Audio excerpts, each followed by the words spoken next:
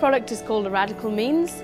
It's designed by designer and artist Damian Palin and basically it uses the adhesive properties of a bacteria called S. pasteurii. What it does is that it adheres to uh, mineral materials such as sand and little bits of rocks and pebbles and such like and makes them all cohesive and you get this solid structure that you see here now.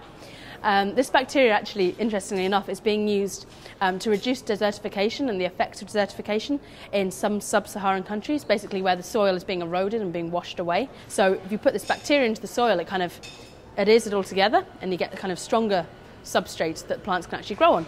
So this is where Damian Palin got his idea from but he decided to try and make a functional artistic piece for the home. So this is a stool, and uh, the picture here, you can see him sitting on the stool, and uh, so it's like an artistic piece that's made entirely out of natural minerals and bacteria that you can find inside your house.